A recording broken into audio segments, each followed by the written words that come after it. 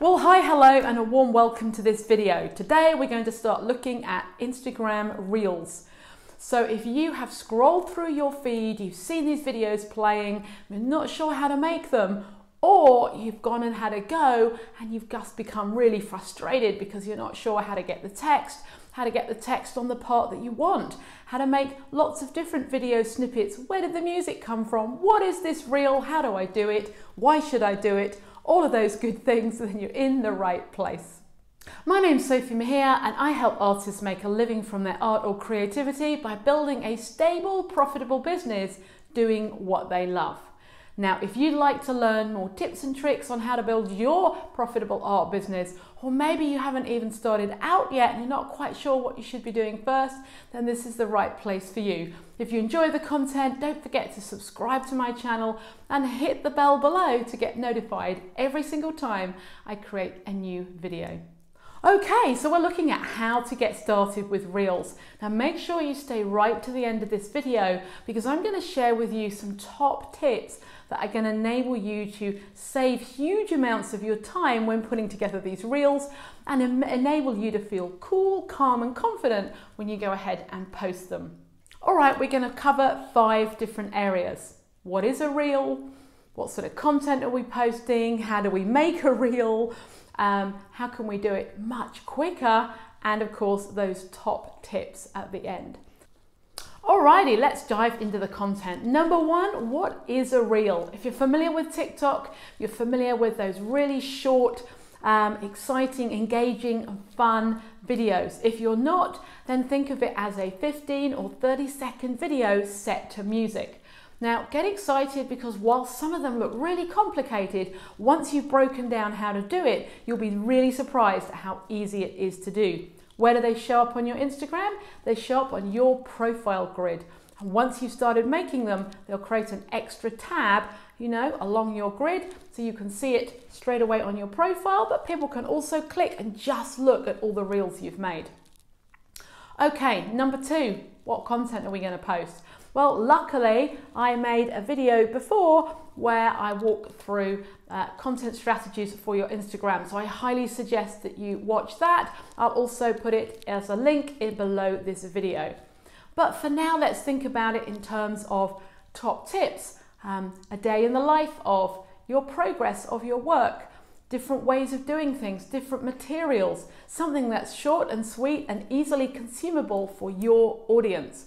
For example, if you teach, what about three ways with watercolor, uh, five top tips with my sketchbook, three ways to start a painting, three ways to complete a painting. you get the idea. So one of the things you'll want to do is look at other people's reels to get excited. Write down the things that you really, really like and then start making your own. All right, great segue, I think. Let's look at number three. How do we make the reel? All right, First up, we're going to need our phone. You're going to need, of course, the Instagram app. And you're going to need to go ahead and find one of the three ways to actually open up the reel. The way I do it, I go to my profile, top right hand corner on my iPhone and click the plus button. That's going to give me all the post options and I'm going to go ahead and click reel. Now from here you have two ways of starting your reel. Number one, you can go down to the bottom and, and click through to your photo and videos that already sit on your phone. So you can have pre-recorded video that you simply upload into the reel. Or you can go ahead and hit the timer button, which we'll talk about in a minute, um, set your phone up and record direct in the app. All right, the next thing you need to think about is a little set of tools which are showing by default down the left hand side. What have we got there? We've got things like length, so you can click on that and choose between 15 seconds or 30 seconds. Then we've got um, music. So you can choose either to select the music at the beginning or you can select the music in the editing process. So either you're going to make some moves to the music you've chosen or you're going to create your video and then find some music that kind of gives it some ambience. All right, slight top tip here. Most people watch reels with their sound off, so don't overthink this. All right, what comes next after music is you've got speed. So you could speed things up, personally, I just leave that as it is. And from then there on, we've got things like um, touch up and effects. Um, again, I don't tend to use those. If you use those things in your normal Instagram strategy, then go ahead and perhaps do the same thing. I just leave those alone. The most important button is under that, and that is the timer. So if you don't select to upload your own video and you want to make the video straight away within the Instagram reel, then you'll need to click on timer.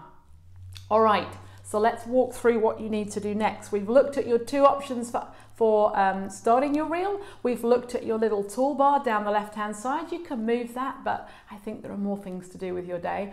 So we've got those things. If you go ahead and upload your own footage, you click bottom left where your uh, photos and videos show up uh, on iPhone and you select the video that you want. You can upload one video at 15 or 30 seconds, or you could upload lots of little clips to make up your 15 or 30 seconds. A little bit more exciting, I feel.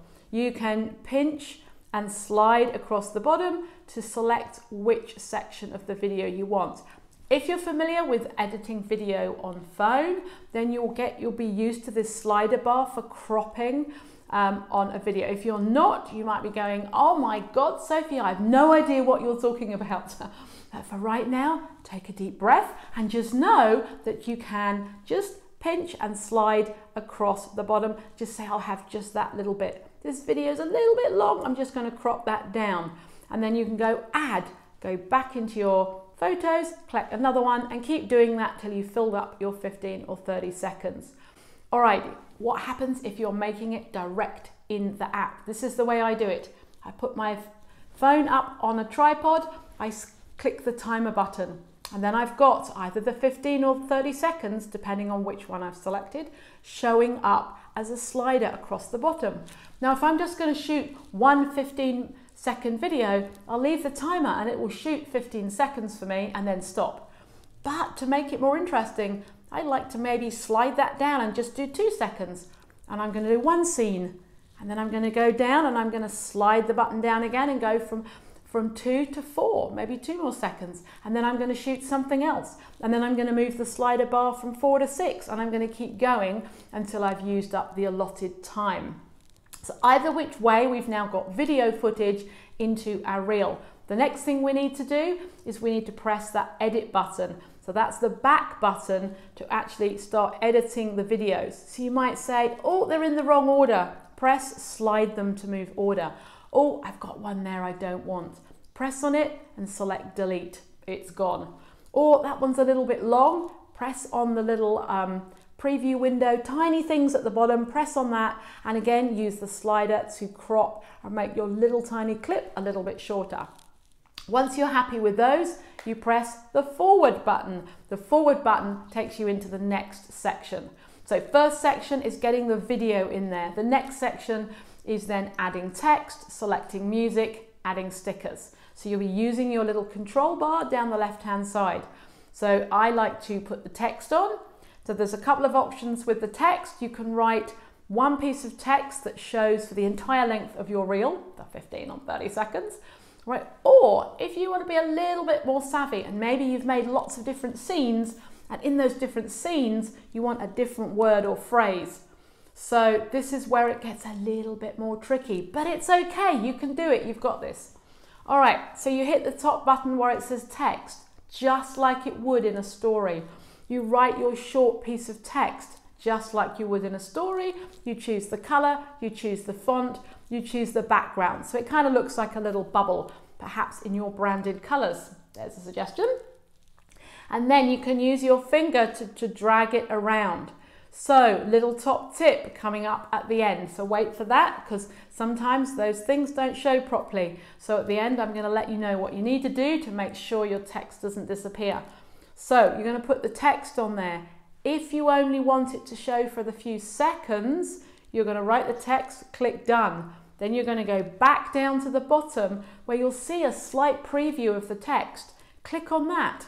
Guess what? Slider bar. That means that text is showing up for the whole 15 seconds or 30 unless you slide it back down. So you slide it back down until it just shows up on the section of the video you want.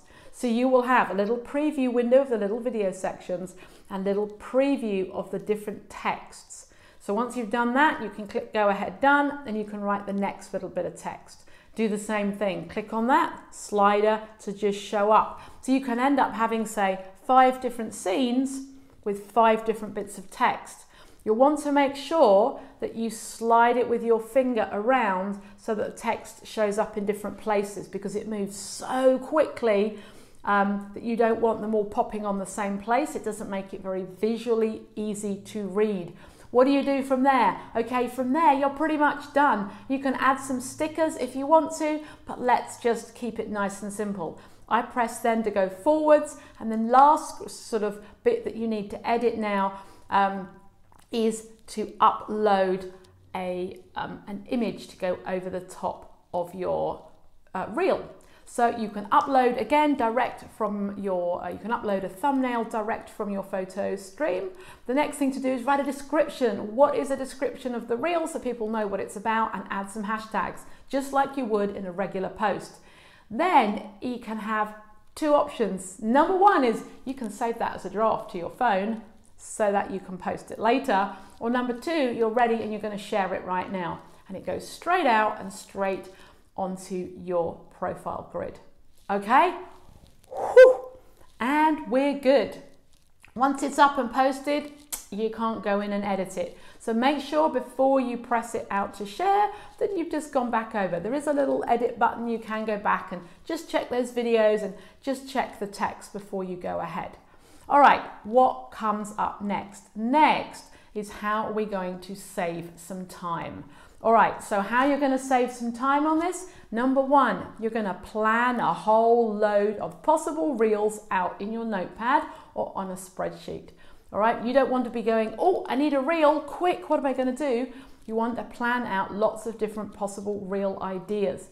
Number two, you want to always be videoing on your phone in portrait mode. So when you're in the studio, when you're out and about, when you're going somewhere, two seconds, three seconds, lots of little tiny mini clips because maybe you have enough footage already to actually make a reel that you want.